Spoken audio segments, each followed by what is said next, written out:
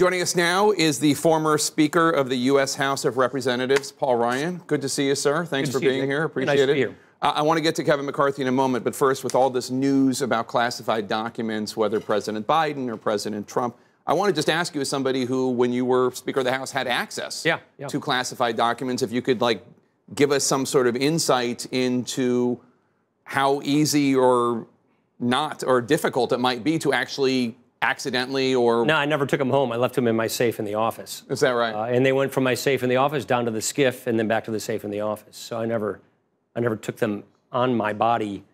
They were in locked briefcases, so I never even took them out of the office. But I guess it would be different if you're president. Maybe I'm trying to figure it out. Whether you're Trump or it's Biden, the, it's, it's the system you put in place in your office, I guess. and you had a rigid system. I had a rigid system, which they went from the intelligence community to a safe in my office that one cleared staffer of mine had access to. We would take them from the safe down to the SCIF, which is you know underground in the Capitol. I would read them there, discuss them there, have my briefings there. We'd go back to the office, and they'd go in that safe, in either in the SCIF safe or in the safe in my office, and they would no, go nowhere else. Sounds like a pretty good process. So that's the way we did things. Yeah. Okay. So- Let's talk about uh, the House race uh, because this hasn't happened. We saw something last week that hasn't happened in 100 years and, and longer if you want to go to, to the number of ballots. Uh, a, a serious battle on the floor of the House to be Speaker of the House and some very serious personal criticisms of the man who ultimately uh, won election, uh, Kevin McCarthy, uh, including about whether or not he's trustworthy and the like. As a friend of his, as somebody who was Speaker when he was House uh, Majority Leader, um, what was going through your mind when you watched it all play out? I thought he was going to gut it out. I didn't think it'd take 15 votes. So I suppose between like vote four and 14, I wasn't so sure, but I still thought he, there was no alternative.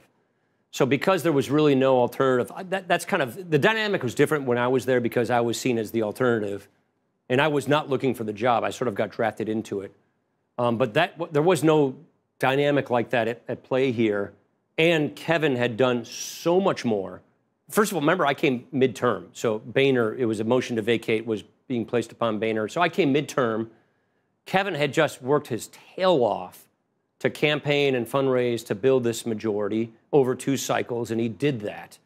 So it's a different dynamic than what occurred in 2015 with me, which was Kevin was the leader of the conference as a minority leader for two cycles, built that majority, and then there really wasn't another alternative for people to go to. So I really thought that he would get through it, um, even with this tough, tough margin. I just didn't think it'd take 15 votes and all those concessions that it took, but it did. Um, there's this moment, well, let's just show it right now, where obviously we're Armed Services Committee uh, Chairman I- Mike I- Rogers. you don't even have to show me the picture. I've seen. I, I, There he is lunging at uh, Congressman Matt Gaetz uh, after Gaetz um, did not vote aye, uh, thus uh, stopping McCarthy from winning on the 14th ballot. Does this bode ill for your party's ability to unite and actually govern? Look, no, I mean, Mike, these guys are good. That's Richard Hudson behind him, very good friends of mine. Um, Richard's a good friend of Mike's. Mike just got hot under the collar. He just got, you know, for, they were pretty exasperated by that time. And my understanding is Matt Gaetz was going to vote for him on the 14th vote and then changed his mind in the vote without telling anybody. That makes people pretty upset. So, look, hot heads happen, things like that occur. By the way, that's what the floor is like when you ever have any contentious vote. I just know C-SPAN usually doesn't cover that because of the cameras, but that, it's always like that on the So floor. should we have this- when you have difficult votes? Gaetz wants the cameras, and I have to say I support No, him. I, I'm not a, I'm not a You're fan not a of the of performance art that has overtaken our politics and the entertainment wings of both of our parties. Yeah. This would just feed into that. So no, I'm actually not a fan of that. But that is what the floor is like when you have tough, contentious votes. I've seen that movie a million times over. You just haven't seen it on C-SPAN. And no, I don't want to see the cameras do that because people are going to play to the cameras on the floor of Congress like they play to the cameras everywhere else they do in politics these days. Well, the counter argument would be you also see the humanity yeah, of I get Democrats that, and but Republicans I- sitting I just together. think we have a little too much entertainment in politics these days, so I'd frankly like to see that toned down. I don't want to add more gas to that fire. Such a buzzkill. Um, McCarthy made so many concessions to this wing, the Chip Roy, Matt Gaetz, whoever, whatever, however you want to call it, these insurgents, these rebels, um, to, and, he made these concessions to get their votes. And without question, the concessions weakened the speakership and empowered individual members. The motion to vacate you mentioned, which got rid of John Boehner, is now back to one vote, uh, as it was before. But there are other other things in terms of who's on the Rules Committee. uh, opening up the process. Uh, anybody can offer a bill. Anybody can offer amendment. I like some of those, by the way. So, some of those are pretty good.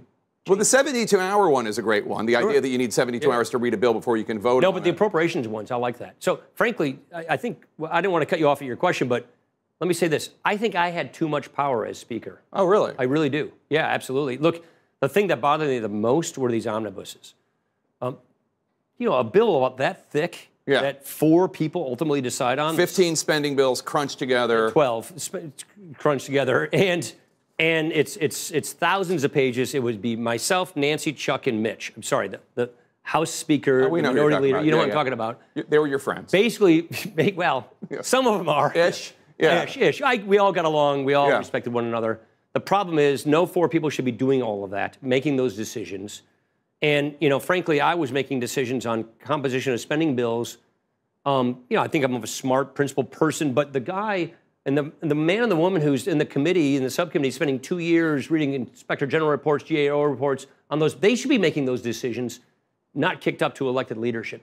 Are there any new rules or rule changes that concern you in terms of the free for all, in terms of whether or not what we saw last week is going to be kind of like the new normal? I think the vacate has become weaponized now. It's become normalized as an activity. I never was worried about this myself, frankly, uh, but that was just kind of my own dynamic, I suppose. But I think members now see this as sort of, a tool they can take for a ride. Um, I think that's bad for the institution. The last thing John Boehner, literally the last words John Boehner said to me as he walked out the door of his smoke-filled office that, that I took over was, don't forget your number one job is to preserve this institution, defend the institution. And if you're a committee chair, which is what I was, I was chair of Ways and Means at the time, I never really thought about that. Most members don't think about the institution. Right. You're thinking about your policy agenda or whatever it is you want to get done in Congress. That's not normally what you're thinking of. So I became a big institutionalist, but it took me a little while once I became speaker because I realized just how important for our freedom and our liberty and our democracy this is.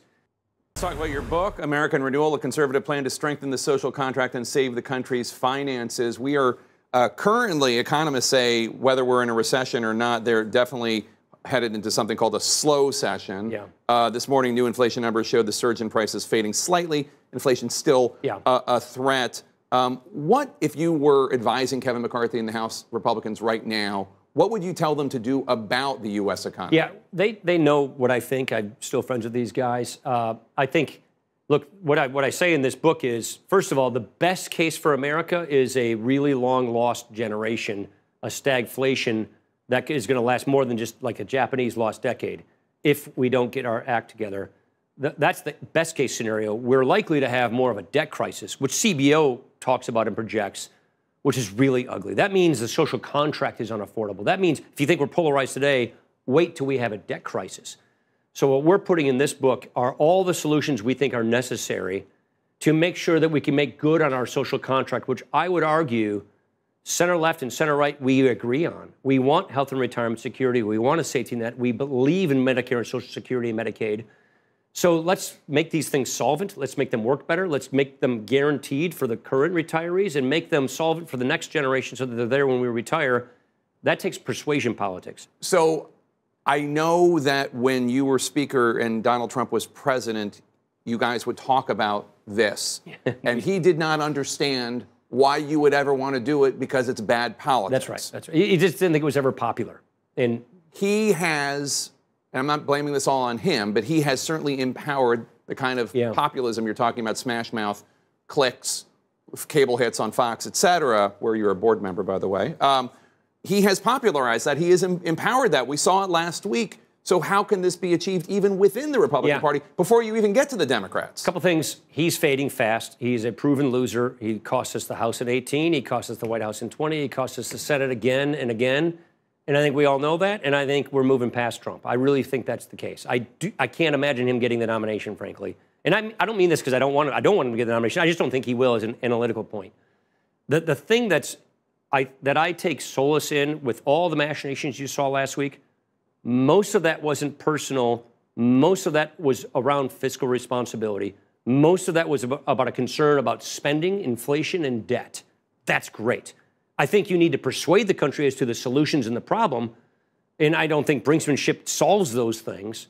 But what's behind that is a good thing, which is Republicans finally reacquiring their moorings on the party of fiscal responsibility and limited government. That to me is the good thing that I see in all of this weird stuff. That's the good thing. So the Yeah. question is, can we It's a put very positive interpretation? we put form and substance? Yeah. Well, I'm a Republican. I, mean, I, I, I am not a member of an organized party. I am a Republican. Republican, that's very nice. Little Will Rogers Will for you. So the point I'm trying to make is those juices are flowing and that is churning, and I think we're we're hopefully coming back full circle to being yeah, maybe a populist party. That's great and fine. I want to be popular, but principled and, and with policies that solve problems. With governance, yeah. And fiscal conservatism is is was a theme that you saw be, behind all of those tactics. Sure, that's when- a good thing. When Congressman Chip Roy was on uh, State of the Union on Sunday, he said, "We know this debt crisis is coming with the debt ceiling I like vote. hearing that. Let's get re- let's get working on it now, Right. as opposed to July." Right. I, I don't think you'll fix it with a debt crisis, but No. I think you you need to go persuade the country and offer solutions. And having gavels and chairmanships, I had two of them.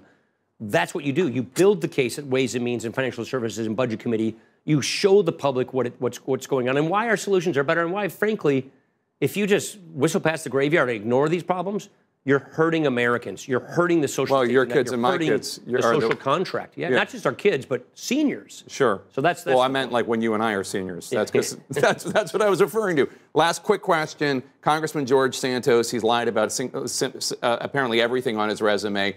Uh, at least uh, six House Republicans have said he should resign, including five New York Republicans. Do you agree? Sure, yeah, sure, I agree. My guess is they'll probably let the budget ethics committee run its course. It's it's a fraudulent candidacy. This isn't an embellished candidacy. to fraudulent candidacy. He hoaxed his voters, so of course he should step down. He doesn't strike me as an honorable person, though. I don't know the guy, so my guess is it will probably go through the ethics course. I, I can't imagine the guy's going to stay very long. All right, former House Speaker Paul Ryan. Good to see you, sir. Thanks for being here. Good to see you.